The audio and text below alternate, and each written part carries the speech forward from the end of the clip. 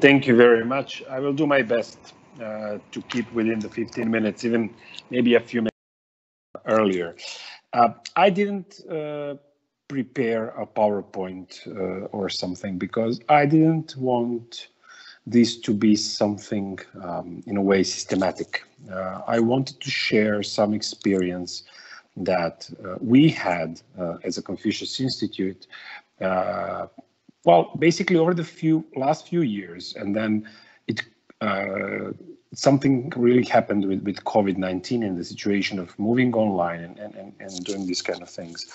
Uh, it's not only teaching, it's not only what's happening in the classroom, it's not only uh, what's happening on how to mark the students or how to stop them uh, from cheating or, or anything else. Uh, so uh, basically what, what we tried we were established in, in 2012, uh, so eight and a half years ago. And over the period of time, we had more than 32 teachers at some point, uh, Chinese volunteers and, and government sponsored teachers who were teaching in Croatia, who were teaching in uh, eight different cities. Uh, we were spending a lot of resources on not only getting the teachers here and getting the work permits and everything else that's necessary for them to, to work. Uh, but we also uh, spend a lot of money from Hanban on um, accommodation and many other uh, things. Uh, but one thing that uh, we did even before the COVID-19 situation started is, well, basically two things that helped us in the future. Uh, first of all, we always liked the digital part and we liked the digital transformation we were concerning to do of our Confucius Institute. So over, over the period of the eight years, we were collecting uh, a lot of uh, useful equipment and useful resources that we could put it use for some other reasons. Of course, we didn't uh, we didn't expect this this to happen, but uh, we did uh, buy a lot of a lot of this kind of equipment, and we already started using it before. Uh, cameras, uh, computers, uh, microphones, professional equipment in this. we educated ourselves in, in in recording and taking videos and editing videos. Um, we were buying professional sets of Lightning uh, for for vi doing videos, uh, and maybe two years before the COVID-19 started, we also started introducing more and more online learning, um, especially the flipped classroom uh, model that we started developing uh, in a way that we wanted to start with certain groups that would have not twice a week a normal Chinese class, but would have uh, once a week a live class and uh, uh, the same amount of time of pre-recorded lessons. They would pre-review before the lesson. So anything that the student professor would be basically telling them or teaching them and, and basically uh, just making them not interact with the teacher.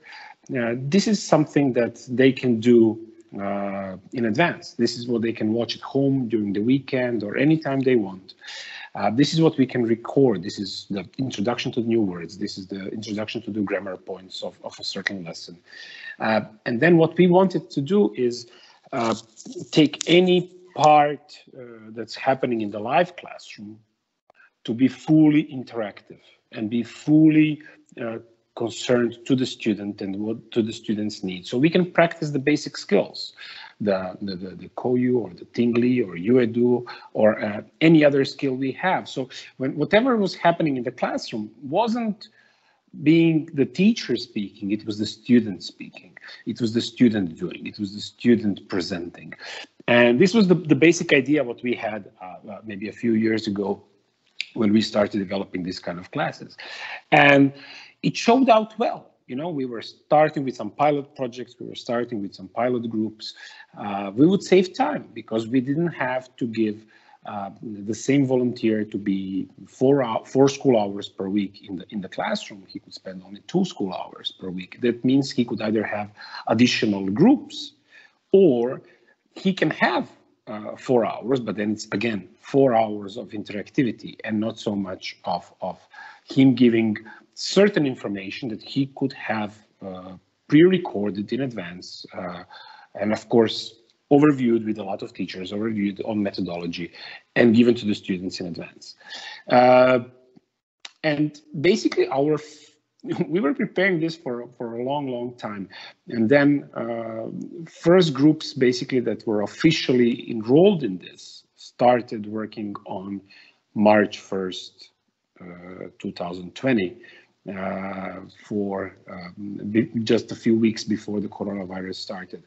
Uh, so basically, we had everything settled up. We had pre-recorded lessons for, for certain uh, explanation points. We had uh, a learning management system in, in place. We had teachers who already took training for for all these kind of uh, uh, things. Of course, not all of them. Uh, just just a few of them. They were supposed to start with beginners levels of Chinese, and they were teaching like this for two or three weeks. Everything was perfect. And then the lockdown came and the whole Croatia got stuck. Um, and basically, you know, uh, we, we saw a lot of primary schools and high schools and universities that were like, oh my God, we have to move online. What are we going to do? And for us, it was really a, a, a 24 hour change. For us, on, on Friday, we were finishing our last uh, offline or live class in the classroom. And on Monday, we already had all our students online, already materials prepared, all the groups opened, everything started, and basically didn't even feel this this change. This was this was a good thing for us. So uh, why am I pointing out this? Because I think this was a good experience that uh, it's good to have you know, think about the equipment you need because we were doing this before, not because we were expecting to move online or we were expecting the COVID. It is just, you know, the, the, the methodologies and the technologies of the 21st century. And we were trying to do this because this is what we are supposed to do in 2021, 2020 uh, of this century, right? So it's just, you know, this helped us move faster. But uh, one of the reasons we, we couldn't start doing this before is because we always had problems you know. Is the it, we you, you know the weak link you know the, the, the weakest the chain is as strong as the weakest link. And the weakest link is usually the, the student a single student who doesn't have a mobile phone who doesn't have a laptop who has uh, a, a very bad uh, internet connection or, or whatever at home and you cannot just make students buy a better phone or buy a smartphone or buy a laptop or, or, a scanner. When we were starting to do something we were even considering you know how to uh, mark homeworks. You should be ask them to write on a piece of paper and then scan it and then like because it's not everything can be done uh, in, in, in modern tools. Most of it can and always. But our teachers also wanted to see the handwriting, real handwriting, not with the mouse on a, on a, on a, on a display, but on a piece of paper. So how can you scan that? And how can you do this kind of things?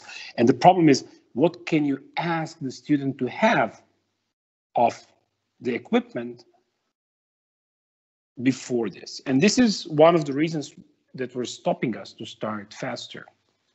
But with COVID, you know, the government said school is online, everybody is online, everybody should have uh, computers, everybody should have uh, mobile phones or tablets, and they gave, I think, like 300 or 400,000 tablets to the primary school and high school students uh, over the period of the last one or two years, which also helped us that all our primary and high school students had this equipment that they can use to start learning online. And so I would say for us, it was an easy way to move from typical offline learning to online learning in the technical sense. But of course, over the period, we did learn uh, all the other problems that we are, that many of the colleagues mentioned today. It's the motivation of the students. It's the motivation of the professors. It's also how the professors are fast in using this technology. How are the students fast in using technology? And many other uh, uh, problematic aspects on cheating and, and, and preparation, how much time do you need for preparing the class uh, for, for online learning and these kind of things. But I don't want to concentrate on um, teaching Chinese language only. Um, I also want to mention, I, I, said the Confucius Institute, right? So I, I want to uh, mention one or two things that also opened in this uh, situation. It's, it's meeting like this. It's, uh, you know, before the new normal, before the coronavirus situation, uh, everybody wanted to go traveling. If you're going for this kind of a conference, you would, you would go to Budapest. I was in Budapest for the teachers training for like five times over the last 10 years. It was, it was perfect. And I missed that. And I'm really waiting for all this to stop so I can, I can go back uh, um, to Budapest for the, for the uh, local teachers training and, and enjoy the, the, the, company because of course there are problems in, in this way of communication. But again, it's easier now to do it. It's easier to connect to some people and you don't have to expect only the people who are able to come, who have the money to travel and who have the time to travel to share their knowledge, to share their network in these kind of situations. So we also started a few projects that probably wouldn't happen if the coronavirus didn't happen uh, because it's not only how you are prepared it's also how the whole community is prepared you know uh, if we were asking certain companies from croatia or certain in, uh, agencies from croatia to have a whole online meeting with us uh, a year ago they would say like you're crazy come here for the meeting or come here and we'll discuss or we'll go to china for a for a conference of this kind but they wouldn't spend a whole day watching a mobile phone or, or a laptop or something like that. Uh, and, and, you know, and this also cut costs. So uh, uh, maybe a few weeks ago, we finished a program that we were planning uh, for more than a year. It's called uh, Great Wall Media Festival. And the Great Wall Media Festival be cover, will be covering creative industries, uh, not only from Europe, but also from China and connecting them in, in, a certain way. And everything was planned. Everything was supposed to be like a great conference in Croatia, people coming from different European countries and from China and everything we were preparing. And then, you know, the world stopped. The, the borders were closed. The people didn't want to go anywhere. People were afraid. Uh, so basically, you know, we didn't know how to move and we moved it online we we what we did is we, we again used the technology we had and i would say a really good technology uh, to really make it not only this kind of like i'm looking to my computer and talking about something but we started producing as, as a tv stu- studio. And now we are producing more and more podcasts. We are producing more and more uh, programs that have higher quality, and we are even discussing with uh, Croatian uh, private and public television uh, studios that are willing to share some of the programs that we are creating or are planning to create in the future because the, the, the quality of this is getting better from us and it's also possible for them to use on, on, on a TV level.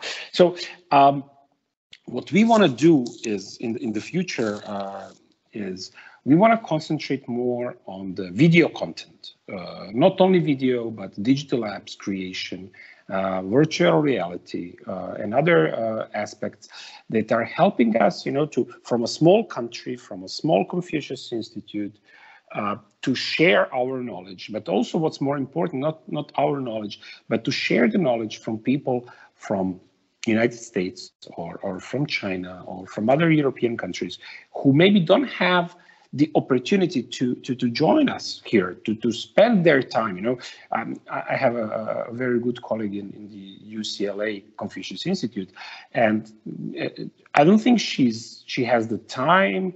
I wouldn't say money, but I would definitely say time and, and everything to come here and spend a few days in Croatia to give a lecture. Uh, maybe she's willing to do it, but you know it could happen every few years. But using this kind of this kind of uh, uh, setting, it is allowing us to do it uh, more often. It's it's allowing us to do it uh, basically on a weekly basis.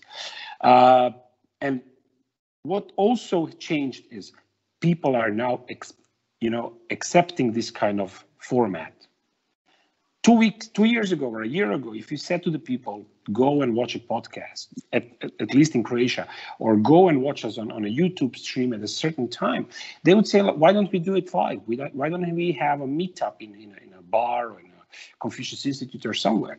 But now we can see that the number of people who are coming to these kind of events significantly increased.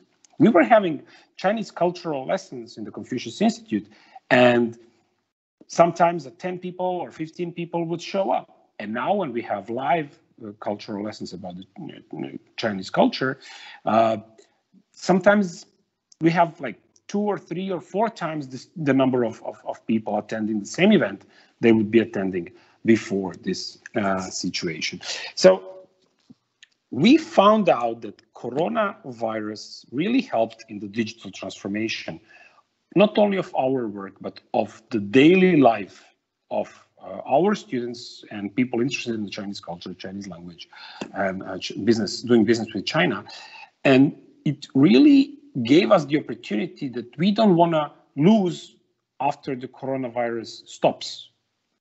And this is what we are a little bit afraid of. We are afraid of that once the coronavirus stops, everybody will start moving back to the old normal without taking the good parts of the new normal and keeping them uh, for the future. And there are, we are already creating a new plan, a five-year plan for the Confucius Institute uh, that will implement a lot of the things that we learned and a lot of the things we did over the period of the last year, uh, and that we are definitely keeping, and that we are going to fight uh, a lot to keep even when the situation becomes normal and when people maybe will not be so much interested uh, in uh, using the digital tools uh, as they are uh, right now. Uh, so we hope that the positive change of digital transformation that happened to the to the world during the COVID-19 uh, pandemic is something that basically uh, will, in a way, continue even after the pandemic is gone, as we hope it will be in the next one year or so. So I also hope that uh, other colleagues here who are talking about this uh, will also consider what is good from uh, everything they are doing right now, and they will keep on using this even when we go back to the normal classrooms, when we go back to the whiteboards or the blackboards, when we start printing the papers again, and when we start seeing our students. Uh, because I think we learned a lot about digital interactivity in the last period, and we hope this will uh, this will continue uh, in the future. Thank you very much, and I hope I will hear more uh, interesting, uh, practical things Uh, what are happening in, in the classrooms and other Confucius institutes. Thank you very much.